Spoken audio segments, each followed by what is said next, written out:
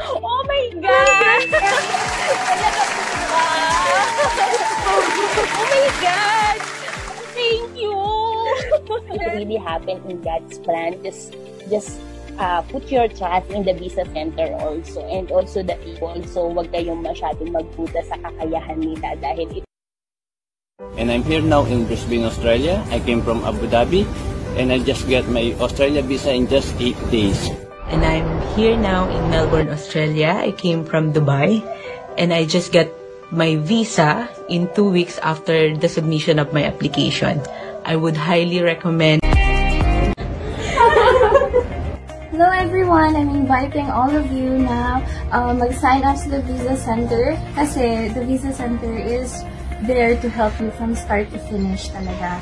And they are very transparent, genuine, talaga ng tulong, talaga ng tulong nila sa'yo. So, ayan. And then, ito na, nag-grant na ako. So, never give up on your dreams kasi you just have to take a leap of faith and believe in yourself and kayang-kaya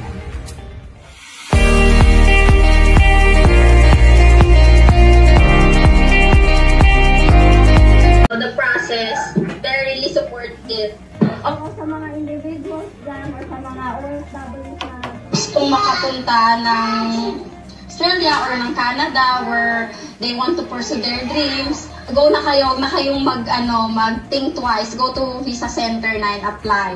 Surely, Hello po, my name is Joanna Katrina. Ah, yun po, nag-grant na po yung visa ko to Australia with the help of Visa Center team. And um, kung sino pong gusto magpa-assess dyan, arap na, nandito lang po ang the Visa Center. Kung gusto niyo pong magpa-assess going to Canada or Australia, punta lang po kayo sa Visa Center and we guarantee na legit po sila and tutulungan po nila kayo to attain your dreams. Proven and tested po, highly recommended. Legit na legit po. Alright, thank you po. Ito na po ang aming visa. Australia, Canada, Zealand. Uh, the Visa Center is there to assist you. They are very accommodating and they are very helpful in many ways. So, without a doubt, I do recommend you to go and visit their office. Um, they have their free consultation. They will assist you. na merong delay, pray lang talaga. Kasi alam naman natin na lahat ng pinagpe-pray natin is magiging mm, mag-grant one day, which is today, nag-grant na nga yung application namin going to Canada. Thank you, TBC. Ayan. Highly recommended. Hello, ito, sobrang saya dahil syempre finally nag-grant na yung hinintay namin na visa for Canada. Sa mga gusto pong mag-aral sa Australia, ah, ito po yung visa center recommend ko talaga sa inyo kasi sila ay ah, ano, uh, mapagkatiwalaan at saka reliable talaga sila.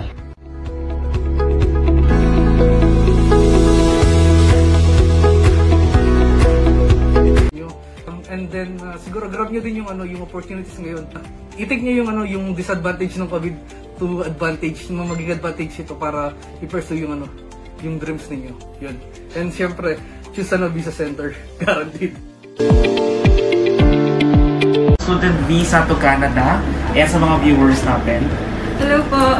Apply na po kayo kasi um, mas bata, mas okay po mag-apply. Tsaka para sa future din naman. Ayun. Ayun, thank you so much!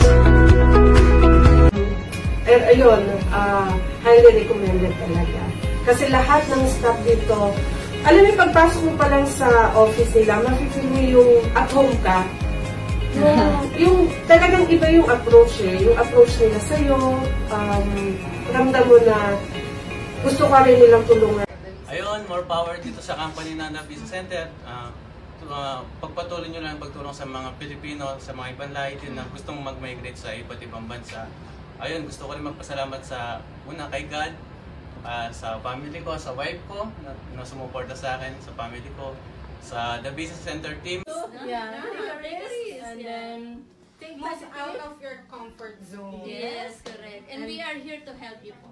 And then, and just pray, have faith, and that everything will be go with the flow in your plan. And then, in God's time, it will be come true. Yeah. Good morning. I'm Grace, and I would like to take this opportunity to thank Visa Center, especially Lorenzo Dizon, for helping me for my visa application. And I'm here now in Melbourne, Australia. I came from Dubai, and I just got my visa. In Gusto ko lang po mag-thank you ng sobra dahil inassist niyo po kami una pa lang. Naging open po kayo, tsaka naging friendly din. Parang, ano po, ah, naging malapit na rin po kami sa inyo. Tsaka, hindi po mangyayari itong lahat, hindi po maging posible itong lahat kung wala po. Hi everyone, I'm Michael Shinoda. I'm originally from Egypt. Uh, I'm living now in Brisbane, Australia.